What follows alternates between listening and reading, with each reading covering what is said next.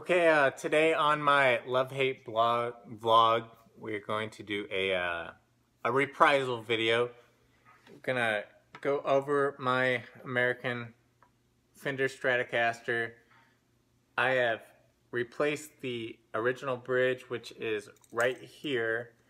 Um, this saddle was really the cause of my dismay and my disgust and my hate for the uh, Fender bent steel saddles because look at that it's just so flimsy. I mean to get it properly like intonated as close as you can it is just so far out and it becomes loose and flimsy. And then even when it's strung up the the saddle moves and like it's just weird. However I must say the uh, the quality of parts that Fender uses on this block is superior to this uh, aftermarket bridge. Um, however, I do love this bridge, the fact that it is all fixed and the saddles, they don't move around and they're solid blocks rather than the bent steel saddles. So I prefer it. It is a lot more comfortable. Um, and yeah, it's just enclosed in. It's comfortable. It feels better to play. So I love that. Uh, the quality is pretty good. I mean, it's not Hipshot quality or anything like that.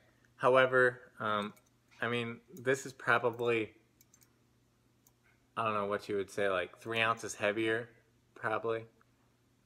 I'm not exactly sure, but this is definitely a heavier piece of metal than the uh, this replacement.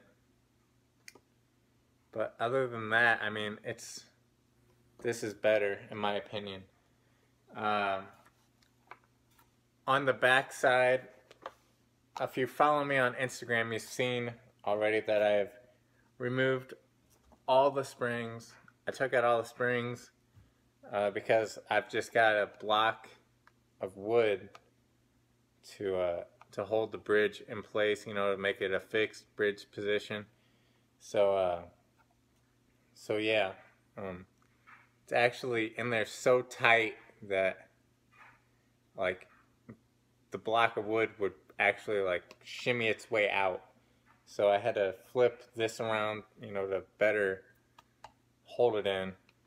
Um, and then also you can see, I'm going to put still images up on the screen for you guys. Um, there's the actual ground cable right here is soldered to the head of that screw. Um, and that, in my opinion, is actually giving the guitar a hotter output.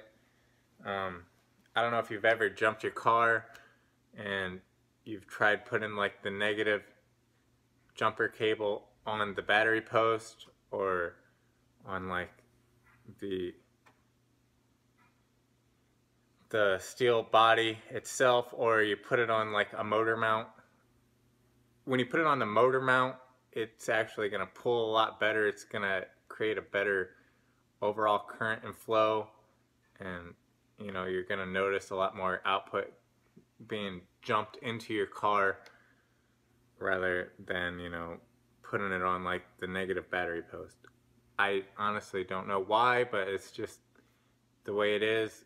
It's just, this is grounding a lot better and the output is a lot, mm, lot more. I mean, it's not super loud, but I say it's got to be like three decibels louder. It's like a boost pedal is being put in.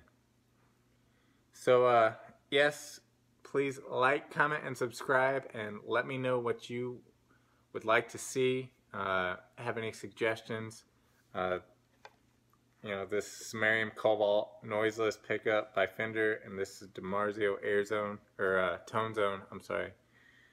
But yeah, um, it's killer. I love it. it sounds great. It's got my uh, 10 to 52 gauge strings on it by uh, GHS TNT Boomers. favorite. But thank you for watching. See you next time.